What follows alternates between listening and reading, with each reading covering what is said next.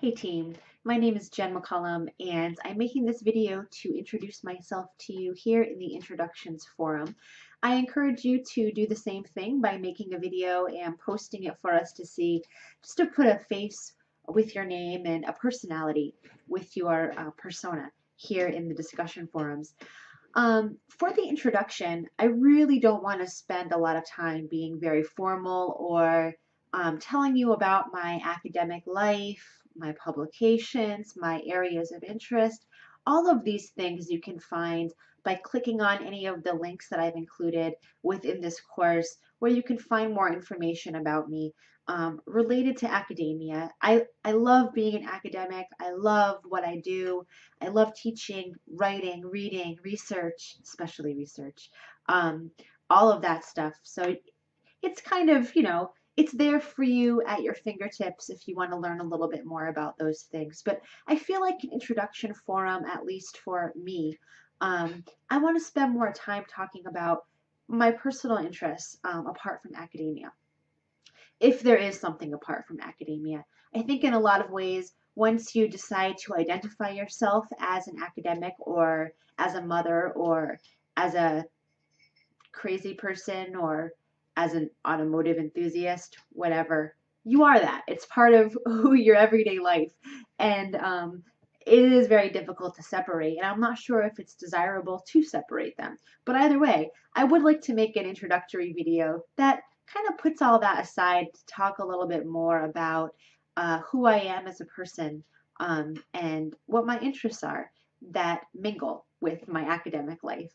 I love to read, and that is academic, I know, but it is actually a really large part of who I am. I absolutely love reading. When I was young, I used to read um, actually by candlelight or dim light, sometimes flashlight, uh, Victorian novels. And that's why my vision is so bad today. I have very poor vision uh, because of that kind of reading. And I continue to love to read. I actually recently switched to digital books on a Kindle and I'm selling my large book collection, which I have accumulated since pretty much coming out of the womb. Um, when I read, I like to read actual textbooks or literature books because I like to get them really just disgustingly grimy with my hands. I like to splash spaghetti sauce all over the pages. I like to take my pen and just write in the margin what I think and uh, my feelings, and I underline and I rip the paper and I push so hard with my pen that it goes through on the other side. Delicious. I love that. Um, with a Kindle, I can't really do that, and I kind of like that because it helps me feel a little less animalistic when it comes to reading literature. One thing I do like about the Kindle, though, the thing that sold me on it, is that you can archive your notes um, so that you can do like a keyword search for, say, masculinity or tofu. And suddenly, all of your notes that you've written about the text, any text, I'm talking like all 5,672 of them, it'll pop up and you can quickly reference any notes that you made. So, as a teacher, actually, not just as a teacher, but just as a woman in general who's passionate about literature, um, that's awesome. I don't have to get up and rummage through my my library looking for that note I made on Jude the Obscure. It's right there at my fingertips, and that is don't even get me started. It's amazing. Um, I am married to a chef who recently has become a stay-at-home father for our uh, little wee one, our little daughter, our only daughter. Uh, I will never have another child again, but uh, she's amazing. Her name is Opal. She is growing up so fast and she loves books. Actually, she has taken to my penchant for being carnal with literature. She likes to rip the pages of the books and she likes to eat them, joyfully squealing about this and that from the text. She reads, I think, probably about 35 books a day. Um, she's a great reader actually. She's super young and she's a little bit ahead of her time in terms of literature because i think that she sees that it's a way to connect with me. Uh, it's something that we both share a love for and it's great. I, lo- I lo- absolutely love it. And being a mother is something that is challenging. It is from beginning to end man, the best thing I've ever done and absolutely the scariest and the most challenging. Trying to balance, you know, everyday life with trying to be a mother presents all kinds of really unanswerable questions. Um, and I feel like it's a challenge that never ends. And so it's great. It's almost like constantly being on a wild adventure.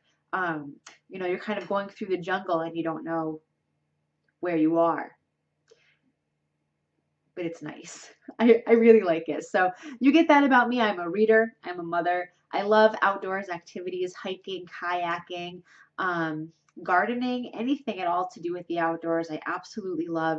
I've lived in many places around the country, but I've never actually traveled outside of the country. Um, my passion for world literature has really taken me to nations, countries, cultures that I haven't experienced at all but would like to. So I'm hoping to get abroad um, sometime in my lifetime, which would be really wonderful to do. I'm an outdoors person. I live right now in New England. Uh, I grew up in New England, but I've lived in many places around the country, as I said, and I always come back to New England. My father once told me when I was young that New England is in your blood. It becomes in your blood because